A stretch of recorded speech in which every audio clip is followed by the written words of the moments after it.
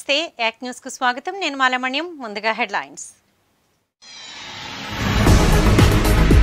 ప్రతి జిల్లాలో మానవ హక్కుల కోర్టు ఏర్పాటు అవసరం. కేంద్రానికి మానవ హక్కుల కౌన్సిల్ సభ్యుల సూచన.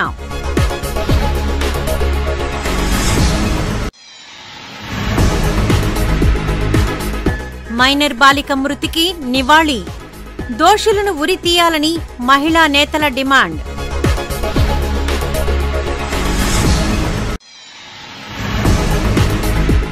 ధనలక్ష్మి అవతారంలో కనక మహాలక్ష్మి అమ్మవారు దర్శించి తరిస్తున్న భక్తులు.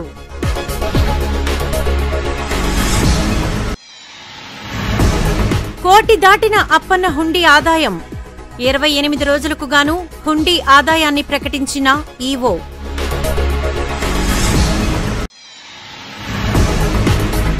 మరలా పెరిగిన గృహ వినియోగం సిలిండర్ ధర. విలవిల్లాడుతున్న సామాన్య మధ్యతరగతి ప్రజలు. ఇక వార్తల వివరాలు చూద్దాం. మానవ హక్కుల పరిరక్షణకు జిల్లాల వారీగా మానవ హక్కుల కోర్టులను ఏర్పాటు చేయాలని మానవ హక్కుల కౌన్సిల్ రాష్ట్ర కార్యదర్శి శ్యామ్ ప్రసాద్ ప్రభుత్వాన్ని కోరారు. విశాఖలో ఏర్పాటు చేసిన మీడియా సమావేశంలో ఆయన మాట్లాడుతూ మానవ హక్కుల కౌన్సిల్ సభ్యులుగా కొందరు అసాంఘిక శక్తులు చొరబడి సంఘ విద్రోహ కార్యక్రమాలు చేపడుతున్నారని ఆరోపించారు. ఇటువంటి వారి పట్ల ప్రజలు అప్రమత్తంగా ఉండాలని అలాగే తమకు సమాచారం అందించాలని కోరారు. మానవ హక్కుల పరిరక్షణకు బాధితులకు న్యాయం సలహాలు సహాయ సహకారాలు అందించడంలో ఎప్పుడూ ముందుంటామని భరోసా ఇచ్చారు. రాష్ట్ర ఉపాధ్యక్షుడు విఎస్ఎన్ మూర్తి మాట్లాడుతూ పౌరులకు హక్కుల పట్ల అవగాహన కల్పించి చైతన్యపరచడమే మానవ హక్కుల కౌన్సిల్ ప్రధాన ఉద్దేశమన్నారు. తమ సంస్థలో ఉన్నవారు అసాంఘిక కార్యక్రమాలకు పాల్పడితే ఉపేక్షించబోమని తెలిపారు. చాలా చోట్ల ఉన్నాయి. వైపు నుండి మా సంస్థ నుండి వెళ్తున్నారా? లేకపోతే వాళ్ళు వాళ్ళ మన దేశంలో మానవ హక్కుల పరిరక్షణ చట్టం పంతొమ్మిది తొంభై మూడులో తీసుకొచ్చిన తర్వాత మన రాష్ట్రంలో కమిషన్ ఏర్పాటు చేయడం దేశవ్యాప్తంగా మానవ హక్కుల పరిరక్షణ చట్టంలోని ట్వెల్వ్ ఐ ప్రకారం చట్టంలోని సెక్షన్ ట్వెల్వ్ ఐ ప్రకారం స్వచ్ఛంద సంస్థలను ఏర్పాటు చేసుకుని వాటిని ప్రోత్సహించాల్సిన బాధ్యత జాతీయ మానవ హక్కుల కమిషన్కు ఉంది. దురదృష్టవత్తు కేంద్ర రాష్ట్ర ప్రభుత్వాలు మానవ హక్కుల్ని విస్మ సంస్థల్ని గుర్తించడం కానీ బలోపేతం చేయడం కానీ హక్కుల ఉల్లంఘనలు బాధితులకి ఆదుకోవడం కానీ ఇలాంటివి చాలా తక్కువ చేస్తున్నాయి. ఈరోజు మా సంస్థ నుంచి రెండు కార్యక్రమాలు ముఖ్యంగా తీసుకున్నాం. మన మానవ హక్కుల పరిరక్షణ చట్టం సెక్షన్ ముప్పై ప్రకారం ప్రతి జిల్లాలో మానవ హక్కుల కోర్టులు పెట్టాలి. మానవ హక్కుల కోర్టులు ఈరోజు ఉన్నాయి. కానీ ఆ కోర్టుల్లో ఎలాంటి అంశాలు విచారణ చేయాలి అన్నది నిర్దిష్టంగా పార్లమెంటు పేర్కోకపోవడం వల్ల అసలు మానవ హక్కుల కోర్టులకి ఒక్క కేసు కూడా వెళ్ళటం లేదు. రెండవది కమిషను. మానవ హక్కుల కమిషన్ను ఏదో కంటి తుడుపుగా కోరలేని పులిలాగా ఉంది తప్ప మానవ హక్కుల ఉల్లంఘన ఫిర్యాదు వస్తే ఆ ఫిర్యాదు హక్కుల ఉల్లంఘన పాల్పడిన అధికారులు ఎవరు? ఆ అధికారులను శిక్షించే అధికారం కానీ విచారించే అధికారం కానీ కమిషన్కు లేదు. కేవలం సిఫార్సు మాత్రం చేస్తుంది. చట్ట ప్రకారం చర్య తీసుకోమని. దీన్ని మేము తీవ్రంగా వ్యతిరేకిస్తూ పార్లమెంట్లో ఈ రెండు పై చట్టాలు సవరించాలి. మానవ కమిషన్ స్థాపించ అంటే తిరిగి కన్స్టిట్యూట్ చేయాలని చెప్పి మేము ఎన్నో కార్యక్రమాలు చేసినప్పుడు దానికి కూడా ఆయన స్పందించి ఈ మానవ కమిషన్ స్థాపించడం జరిగింది. ముఖ్యంగా ఇప్పుడు మా మానవ హక్కుల రాష్ట్ర కార్యవర్గం మానవ హక్కుల రాష్ట్ర కార్యవర్గం ఎంతో సాయశక్తిలో కష్టపడి నీది మా ఎథిక్స్ కలిగి పనిచేస్తున్న ఈ సందర్భంలో మా సభ్యులు కొంతమంది మా సభ్యులు కొంతమంది కొన్ని స్వలాభా స్వలాభానికి స్వాజితానికి కొన్ని అనుకోని పరిస్థితుల్లో వాళ్ళు కూడా వాళ్ళ ఇష్టం వచ్చినట్టు కేవలం డిఫెండర్గా పనిచేయవలసిన బాధ్యత కలిగిన డిఫెండర్స్ వాళ్ళ స్వాజితానికి సంబంధించి కొంతమంది వ్యక్తుల దగ్గర కొన్ని కార్యక్రమాల్లో ఆక్రమణలో భూ ఆక్రమణలు కానీ భూ తగాదాలు కానీ లేకపోతే వాళ్ళ సొంత నిర్ణయాలు తీసుకుని మాకు తెలియకుండా మా సంస్థకి తెలియకుండా కొన్ని డబ్బులు సంపాదించే కార్యక్రమాలు చేయడం మా దృష్టికి కూడా వచ్చింది. సో ఇటువంటి పరిస్థితుల్లో మేము ఏమంటున్నామంటే అటువంటి వారిని గుర్తించి వారి సభ్యత్వాన్ని రద్దు చేయడానికి కూడా మా రాష్ట్ర కార్యవర్గం ఒక సీరియస్ నిర్ణయం కూడా తీసుకోవడం జరిగింది. అగనంపూడి శనివాడలో ఆత్మహత్య చేసుకున్న మైనర్ బాలిక ఆత్మకు శాంతి చేకూరాలని రజక కార్పొరేషన్ డైరెక్టర్ ఏగలపాటి యువశ్రీ ఆధ్వర్యంలో పాతగాజువాక జంక్షన్లో కొవ్వొత్తుల ర్యాలీ నిర్వహించారు. అనంతరం ఆమె మాట్లాడుతూ మైనర్ బాలికను హత్య చేసి ఆత్మహత్యగా చిత్రీకరిస్తున్నారని మండిపడ్డారు. ఈ ఘటనలో నిందితుణ్ణి కఠినంగా శిక్షించాలని డిమాండ్ చేశారు. ఈ కార్యక్రమంలో జిల్లా సహకార market society chairman Palla Chintalli Ganguluri Rojarani Umadevi Eswari మరియు విద్యార్థులు పాల్గొన్నారు.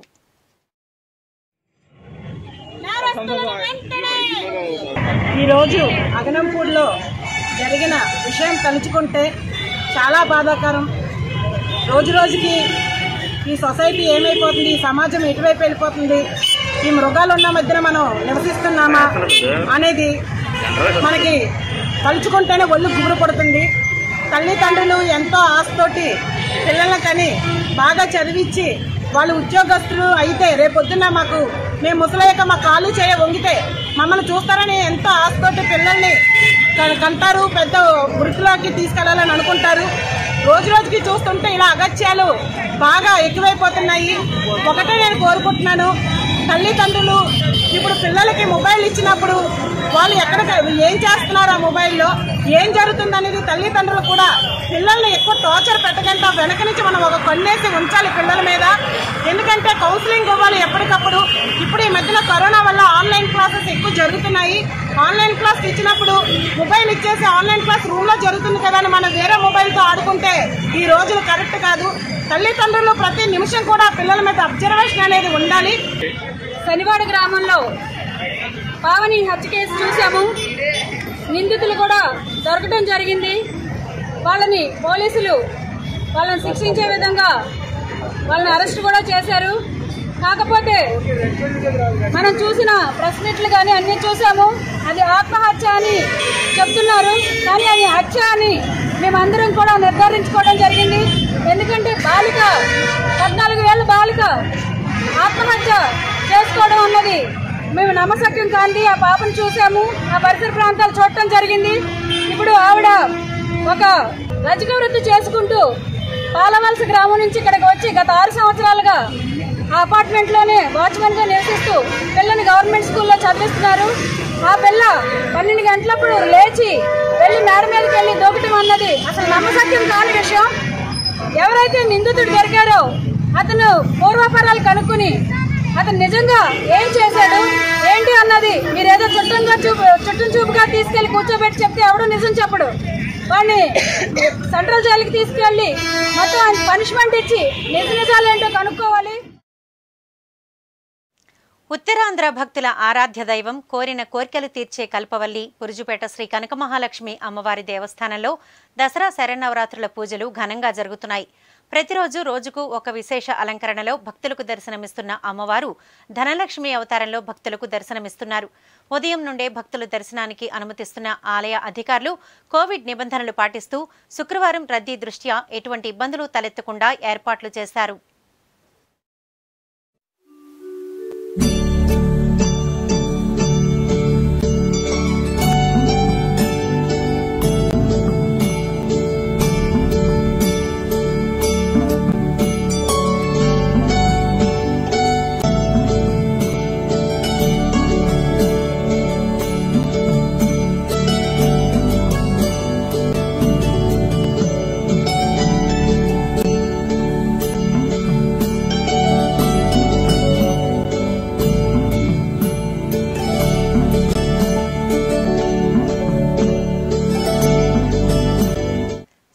సింహాచలం శ్రీ వరాహలక్ష్మీ నృసింహస్వామి వారి హుండీ ఆదాయం లెక్కింపు గురువారం సింహగిరిపై ఈవో సూర్యకళ పర్యవేక్షణలో జరిగింది.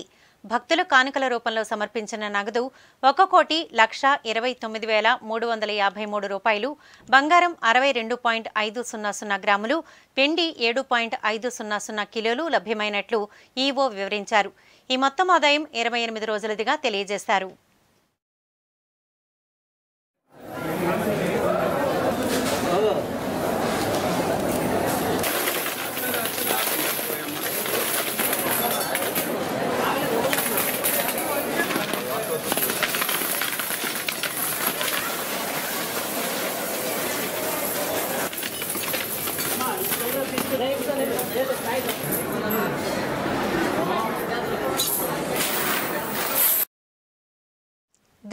వినియోగం సిలిండర్ ధర మళ్ళీ పెరిగింది. పెట్రోల్ డీజిల్ ధరలతో వంట గ్యాస్ కూడా పోటీ పడుతోంది.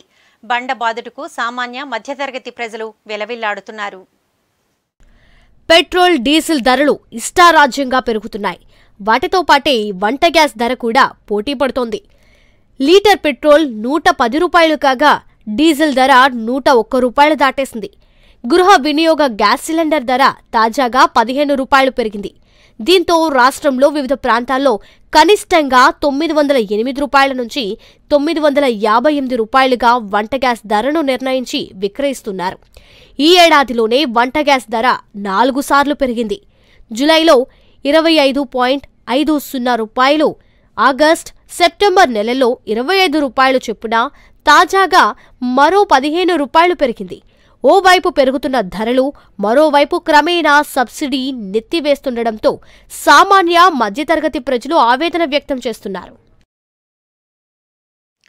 పూర్ణ మార్కెట్లో కొలువై ఉన్న శ్రీ దుర్గాలమ్మ అమ్మవారి ఆలయంలో శరన్నవరాత్రుల మహోత్సవాలు ఘనంగా ప్రారంభమయ్యాయి. అందులో భాగంగా ఈ తెల్లవారుజామున శ్రీ దుర్గాలమ్మ అమ్మవారికి అభిషేకాలు ప్రత్యేక పూజలు నిర్వహించారు. శ్రీ దుర్గాలమ్మ అమ్మవారు లక్ష్మీదేవి అలంకరణలో భక్తులకు దర్శనమిచ్చారు. మహిళా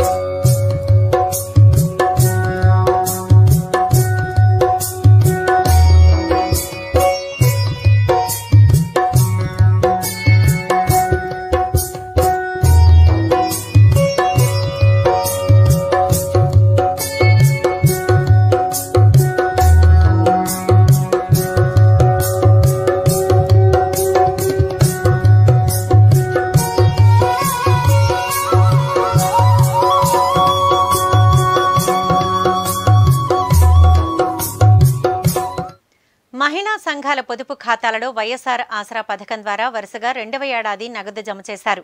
ఈ మేరకు ముఖ్యమంత్రి జగన్మోహన్ రెడ్డికి ధన్యవాదాలు తెలుపుతూ లబ్ధిదారు మహిళలతో విశాఖ ఉత్తర నియోజకవర్గ వైఎస్ఆర్ సిపి కార్యాలయంలో రాష్ట్ర నెట్క్యాప్ చైర్మన్ కేకే రాజు ఆధ్వర్యంలో జగన్ చిత్రపటానికి పాలాభిషేకం చేశారు.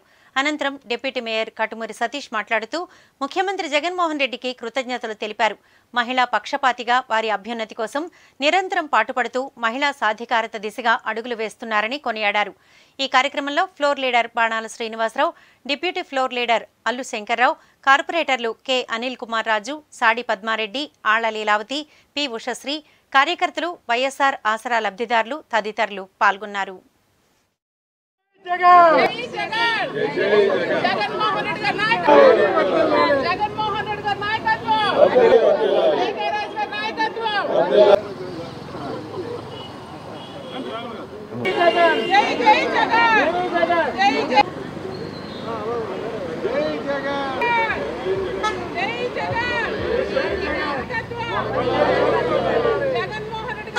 వైఎస్ఆర్ ఆశ రెండో విడతగా విడుదలైనటువంటి రుణమాఫీ తాలూకా నిధులు ఏవైతే ఉన్నాయో ఈరోజు ఉత్తర నియోజకవర్గంలో సుమారు ఆరు కోట్ల మేరకు రిలీజ్ చేయడం జరిగింది జగన్ జగన్మోహన్ రెడ్డి ఈరోజు. సుమారు దగ్గర దగ్గర పన్నెండు వందల గ్రూపులకి ఈ పథకం ద్వారా లబ్ధి చేకూరడం జరిగింది. రెండు వేల పంతొమ్మిది ఏప్రిల్ పదకొండవ తేదీ నాటికి ఏ గ్రూపులు అయితే ఆ రోజుకి ఎంత రుణం అయితే తప్పు ఉందో బ్యాంకుల్లో ఆ రుణాన్ని మాఫీ చేస్తామని రెండు వేల పద్దెనిమిది పాదయాత్రలో గౌరవ ముఖ్యమంత్రి గారు హామీ ఇవ్వడం అందులో భాగంగా గత సంవత్సరం విపత్తుగా కరోనా టైంలో కూడా ఇచ్చిన హామీ నిలబెట్టుకోవడంతో పాటు గత సంవత్సరం సెప్టెంబరు ఆరో తేదీన మొదటి విడతగా రాష్ట్రం మొత్తం మీద కూడా ఇరవై నాలుగు వేల కోట్లు సుమారుగా అప్పు ఉంటే మొదటి విడతగా ఆరు వేల మూడు వందల కోట్లు రిలీజ్ చేశారు. ఈ సంవత్సరం మరీ దసరా సందర్భంగా దసరా ముందుగా దసరా పండుగను ముందుకు వచ్చేలా ఈ సంవత్సరం కూడా మళ్ళీ సుమారు ఆరు వేల ఐదు వందల ముప్పై ఆరు కోట్ల రూపాయలని రెండో విడతగా వైఎస్ఆర్ ఆసరా పథకాన్ని రీచ్ చేయడం జరిగింది. అందరికీ నమస్కారం. ఈరోజు ఉత్తర ఉత్తర నియోజకవర్గ కార్యాలయంలో ఏదైతే జగనన్న ఇచ్చిన మాట ప్రకారం మాకు వైఎస్ఆర్ ఆసరాని ఈరోజు జగనన్న రెండో విడతని విడుదల చేయడం జరిగింది.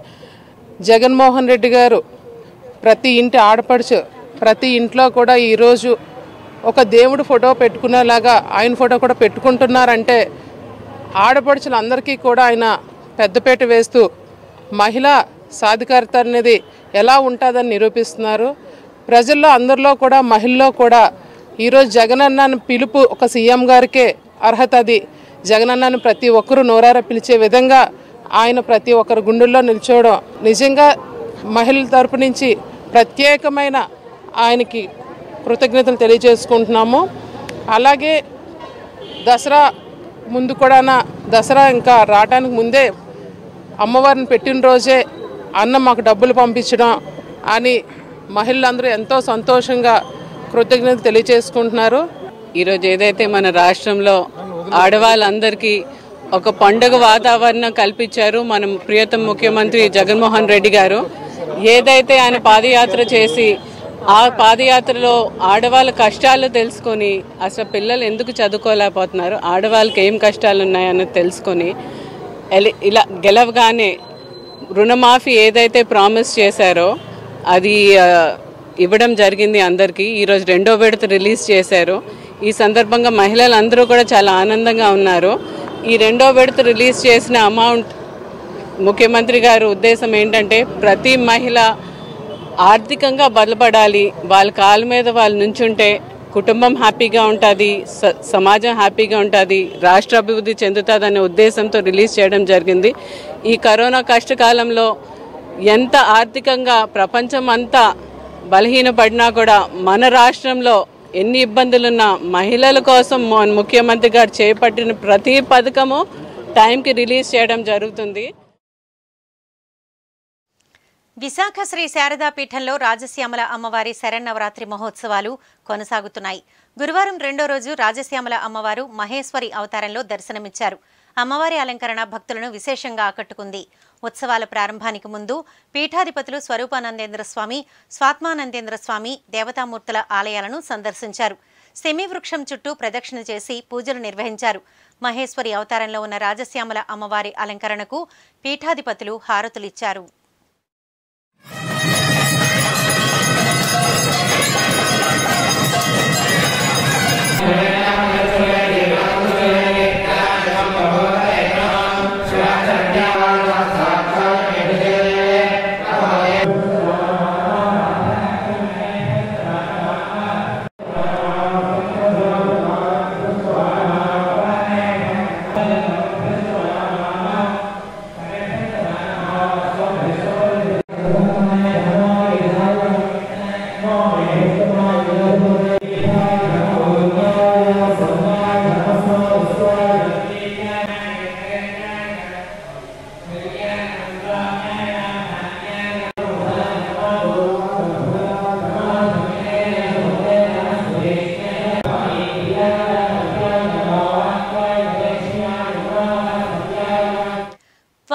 కొలువై ఉన్న శ్రీ కన్యకా పరమేశ్వరి అమ్మవారి ఆలయంలో శరన్నవరాత్రుల మహోత్సవాలు ఘనంగా ప్రారంభమయ్యాయి.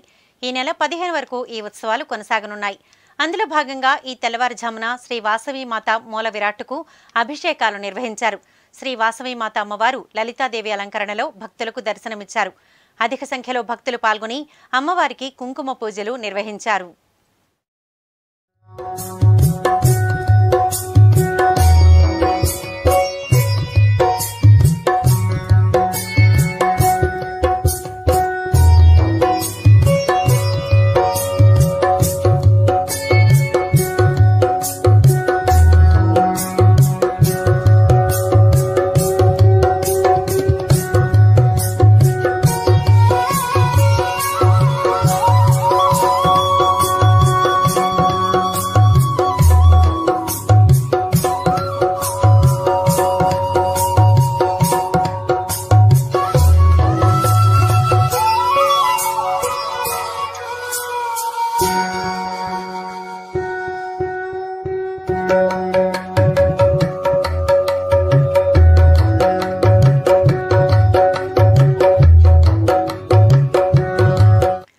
టౌన్ కొత్త రోడ్ ఉడ్యార్డ్ స్ట్రీట్లో కొలువై ఉన్న శ్రీశ్రీ ఆదిశక్తి అమ్మవారి దసరా మహోత్సవాలు ఘనంగా ప్రారంభమయ్యాయి.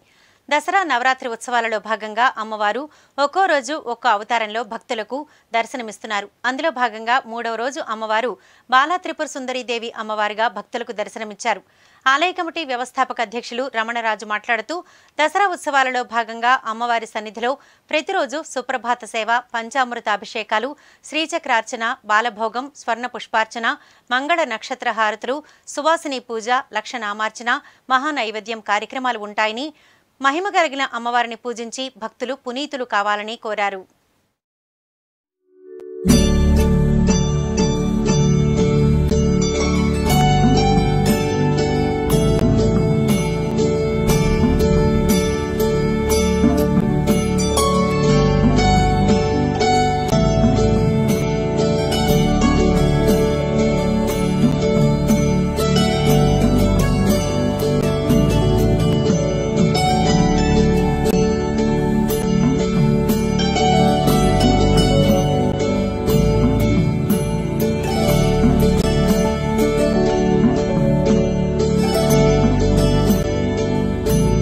శ్రీ శ్రీ ఆదిశక్తి నాగదేవాలయం విశాఖపట్నం ఉడిఆర్ సీట్లో కొలిగే ఉన్నారండి. ఈ అమ్మవారి నవరాత్రులు తొమ్మిది రోజులు కూడా తొమ్మిది విశేష అలంకారాలు అమ్మవారి దివ్య దర్శనం ఇవ్వడం జరుగుతుంది. మొదటి రోజు అమ్మవారు రజిత కవస దుర్గాదేవి గారిని దర్శనం ఇచ్చారండి. ఈ రోజు అమ్మవారు బాలత్రిపుర సుందరిగా దర్శనమిస్తున్నారు. అమ్మవారు వేకుజామున పంచమి తపశాకాలు శ్రీచక్ర రచన కగ్గమాల శ్రీసూత్రం జరిగిందండి. మధ్యాహ్నం అన్నదాన కార్యక్రమం మంగళహారతలు జరుగుతాయి. ఆదిశక్తి నాగదేవాలయంలో ఈరోజు బాలత్రిపుర సుందరి అమ్మవారి దివ్య దర్శనం ధరించి ధరించండి సింహాచలం సింహాద్రి అప్పన్న సన్నిధిలో స్వాతి నక్షత్ర హోమం వైభవంగా జరిగింది. ప్రతి నెలలో ఒకరోజు జరిగే స్వామి నామ నక్షత్రమైన స్వాతి నక్షత్రం హోమానికి సుమారు పది జంటలు భక్తులు పాల్గొన్నారు. కోవిడ్ నిబంధనలు పాటిస్తూ భక్తులకు ఈ పూజలో పాల్గొనే అవకాశం కల్పిస్తున్నారు. స్వామివారికి విశేష పూజలు నిర్వహించి అనంతరం పూర్ణాహుతితో హోమాన్ని ముగించారు. స్వామివారిని సుప్రభాత సేవతో మేల్కొలిపి విశేష పూజలు నిర్వహించి అనంతరం కళ్యాణ మండపంలో స్వామివారిని పల్లెకిలో అధిష్ఠింపచేసి స్వాతి నక్షత్ర హోమం నిర్వహించారు.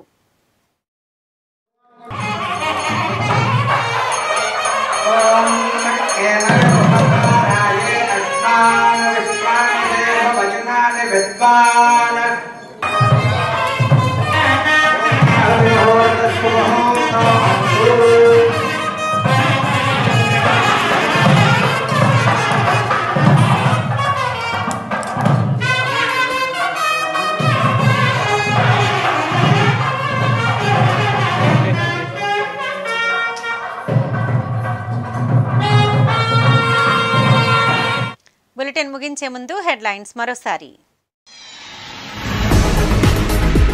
ప్రతి జిల్లాలో మానవ హక్కుల కోర్టు ఏర్పాటు అవసరం. కేంద్రానికి మానవ హక్కుల కౌన్సిల్ సభ్యుల సూచన.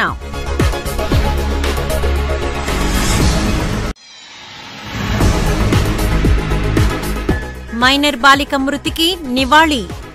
దోషులను ఉరి తీయాలని మహిళా నేతల డిమాండ్.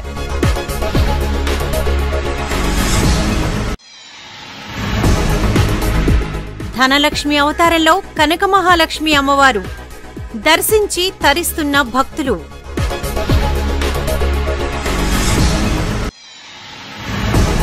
కోటి దాటిన అప్పన్న హుండీ ఆదాయం.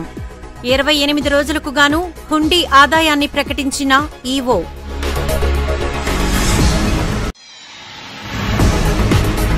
మరలా పెరిగిన గృహ వినియోగం సిలిండర్ ధర. విలవిల్లాడుతున్న సామాన్య మధ్యతరగతి ప్రజలు. యాక్ న్యూస్ ఇంతటితో సమాప్తం. Stay connected and keep watching.